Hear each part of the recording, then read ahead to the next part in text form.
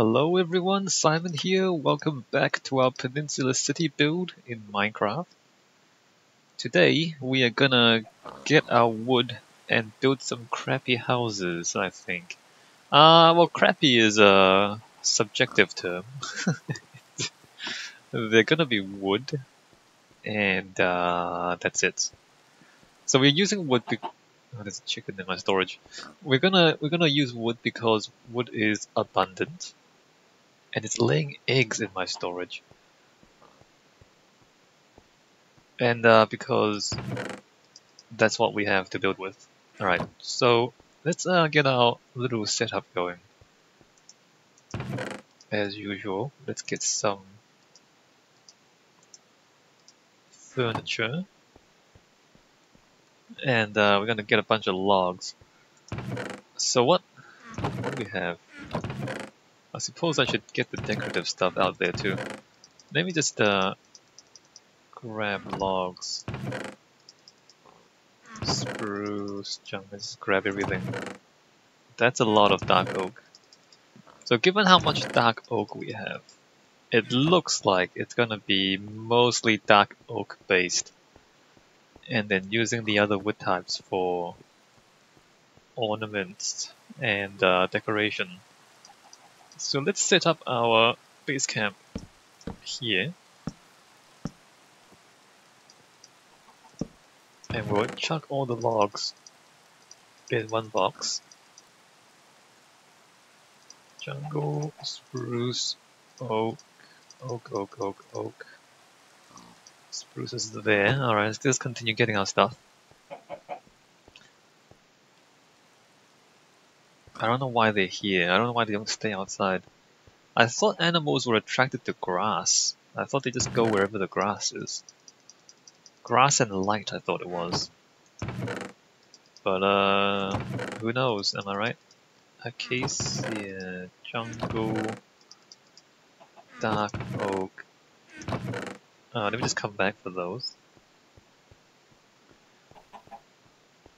So let's try to think of a different construction style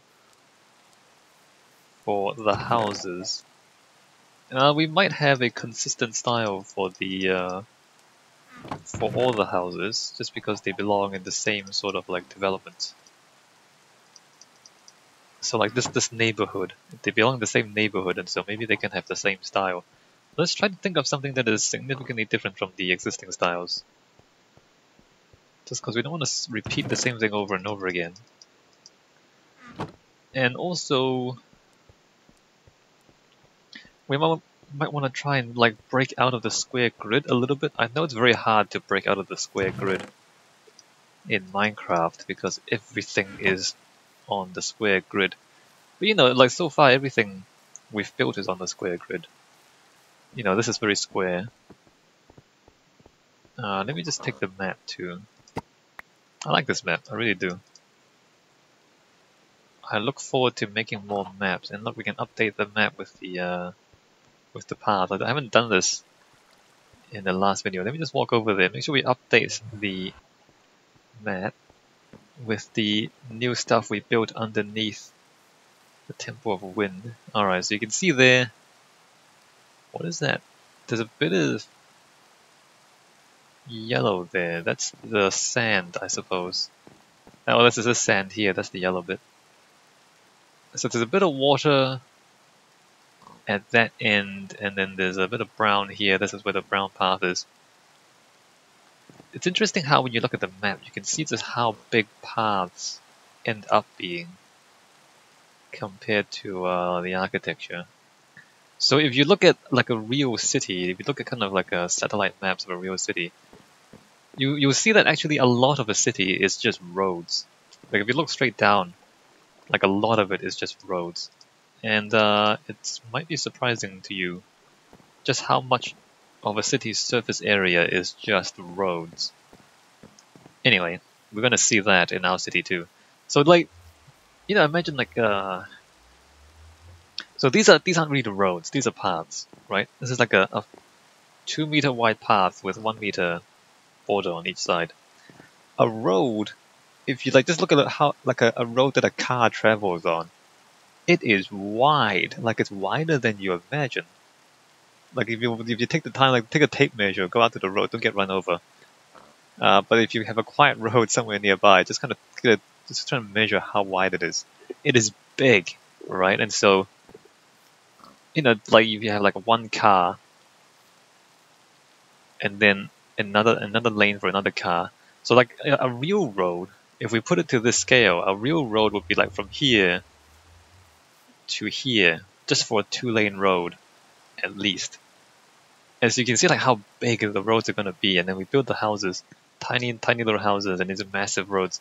So um, yeah, so that's how things are in the real world. All right, so how do we break out of the grid?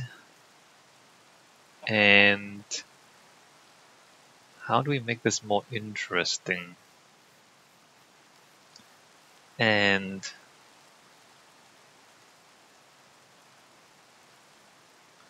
I think it kind of makes sense to have the road go this way as well. I was thinking like, well, I mean, it'd be more efficient if the road just went like in from here but it would look better. So as you travel down here, it would look better if you can see the road going along the coast and then have houses facing the coast. It would look better that way. So I'm going to do that, right? So we go, let's say the road is like uh, four blocks wide. So here, let's do something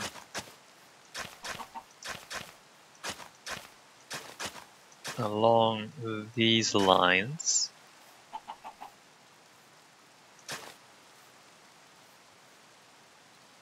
And then like here have the have the road follow the coast have the road follow the coast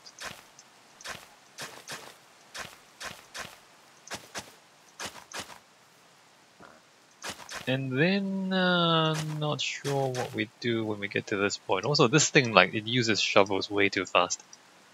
This uses shovels way too fast, I'm telling you. Because if you're farming, it doesn't, like, it doesn't use the hoes this fast. Um, we get to here, and then this gets a bit strange, because I also want houses here. But I want them, so I want the road to be up here and then I want the houses to go down. So uh, if you go into Google image search and type in Santorini, Santorini, that is a Greek island, quite a famous one. But it's like uh, so there's like buildings on the hillside, is how that works. So it's a it's a relatively small island, and uh, it's got buildings on the hillside like that. Everything's white because uh, the, the white reflects heat and so it, it keeps the inside of the building as cool. That's why everything is painted bright white. So if you look at Santorini, it's, just a lot of buildings on a steep hillside. And I and, and like there's kind of terraces and everything, so I kind of want something like that. Although obviously in Minecraft there's not enough space. So like narrow streets, terraces, narrow streets on a terrace, and then buildings like underneath and above. That would be cool. Um, except I don't really know how to. I want to do that. Uh, yeah. And I want to keep something of a beach. So I guess we keep a bit of beach, and then the buildings. It's gonna be complicated. It is gonna be complicated. Maybe I should like build Hmm. Yeah, that's gonna be complicated. I mean, this sort of thing is best if you let it grow organically, which is to say, uh, you don't have a plan. I've talked about it before. So if you, it's uh, if you don't have a plan, then you say you're growing it organically, or you're letting it develop organically. Um, I think it's better if you let it develop organically, but it's uh, I need to think about what I want to do about this. So let's say this particular road comes to here. I guess we can have a staircase down to the beach at this end. So then there'll be like buildings back here and maybe another staircase down to the beach. And then maybe like a walkway. I mean, there's very, very little space here. Look how steep this is. There's really very little space for a walkway along the beach. Um, uh, I'll think about this. I'll think about that. Maybe maybe next next time. All right. So I guess what we should do is uh, the road should join back to this crossroad here.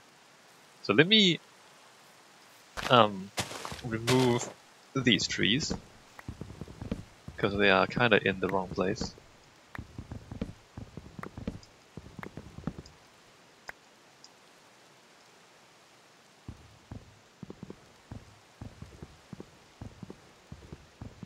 I can't believe this works. You can just jump continuously and, and get a block that way.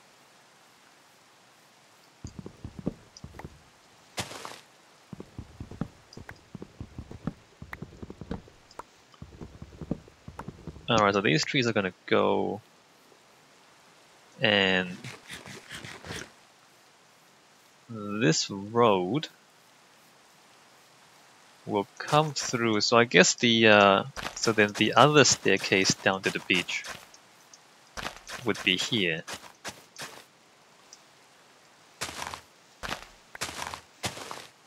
Although, is this too... No, this is kind of too early, isn't it? I kind of want the other staircase to the beach here. Which is a different thing. Alright, well let me just um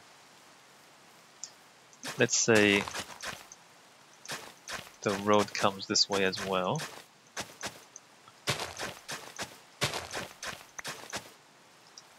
And then we're gonna just join up there from here, I suppose. So let us step down to here and then start coming across this way.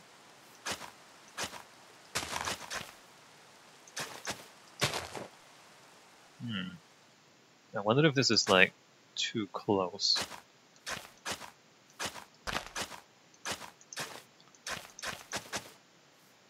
Right, so the road's gonna do this somehow. Come along here and uh, back here. So then for today, our building site is within this road. So we need to fill in this area here with houses. I don't know if I should take these ferns. Let me just... Because we don't have any ferns. Uh, can you breed ferns? Can you make ferns? I don't think you can, right? Ah, let me harvest some of the fern just in case we ever want it.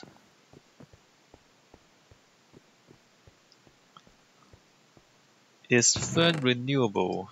And if not, why not? Like seriously.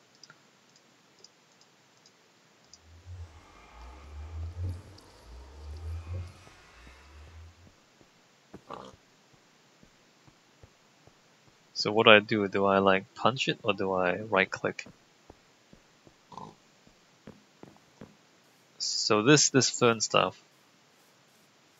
Right, so if I Okay, left click. Left click the ferns.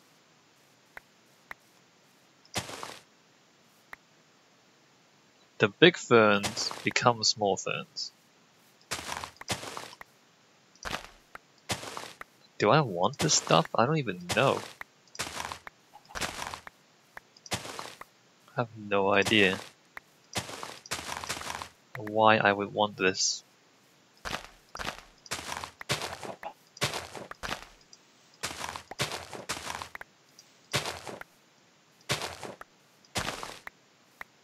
So if they're not craftable, can I like um fortune? Like enchant the shears with fortune to get more ferns? How would I how would I have a renewable supply of fern? Uh, let me go to my Minecraft wiki, go to fern, grass, tall grass. Bone meal can be used on grass blocks to grow grass and occasionally flowers. Bone meal can also be used on either tall grass or a fern to create double tall grass or large fern. It doesn't say you can make ferns though. You can, you can you can make grass with bone meal. It doesn't say you can make ferns with bone meal.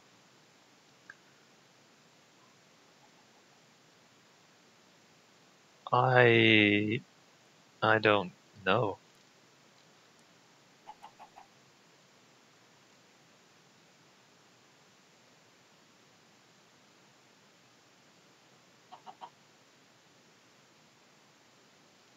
I uh, I don't I don't think.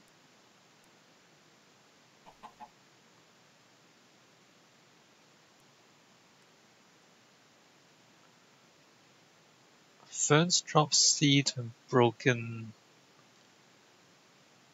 I have no idea. Grass and ferns. I. Hmm. So fortune. Let me uh, look up fortune.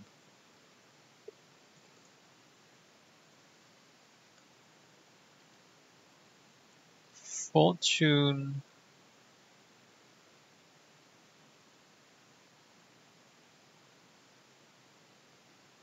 For tall grass, each level increases the drop maximum by plus 2.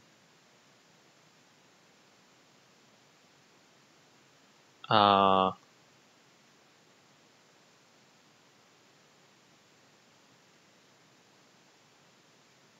I am not sure. Note 8.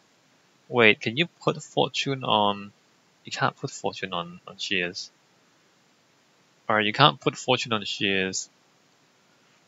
I have no idea. I, I don't know, and I don't know why Minecraft is this complicated. I don't know why it's so complicated to just like answer this question. Can you get ferns? Can you like are ferns renewable? Why is that question so hard to answer? Okay, so what now?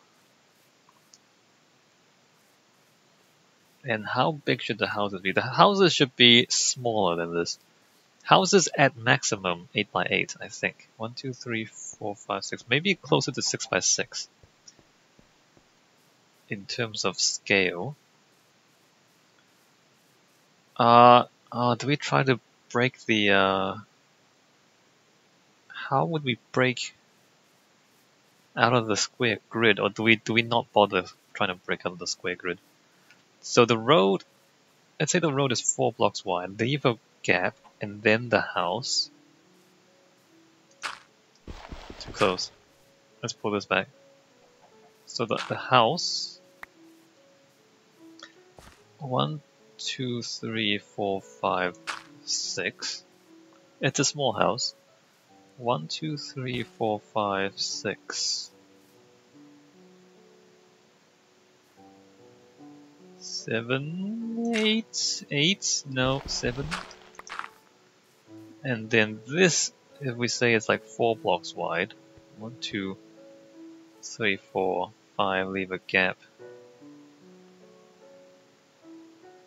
Uh,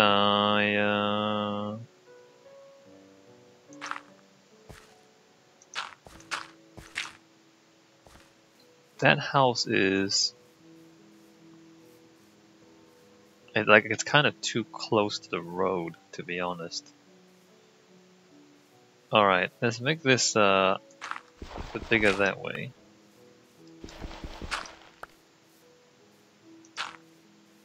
Push this back by one.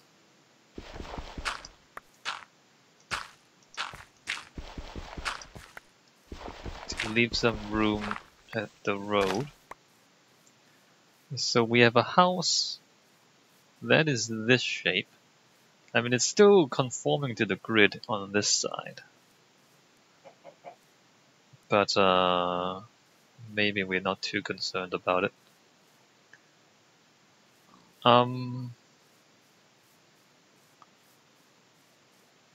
and then I just don't want everything to be square, you know what I mean? I just I just don't want everything to be square. Uh, one, two, three, four, leave a space. So the next house, let's have a three block gap between houses. Ooh, this needs to like stop there. So this one, let's make it an L shape.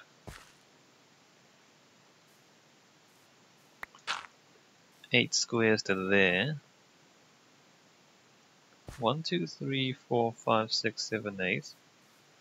One, two, three, four, five, six, seven, eight.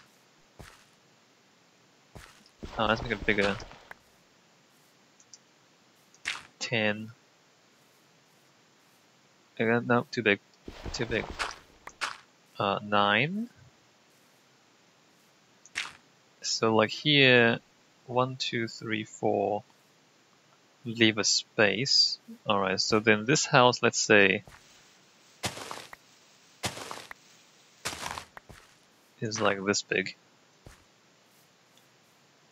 And it's an L shape.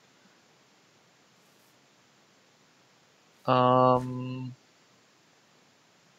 slightly odd. Let's make it an L shape like there.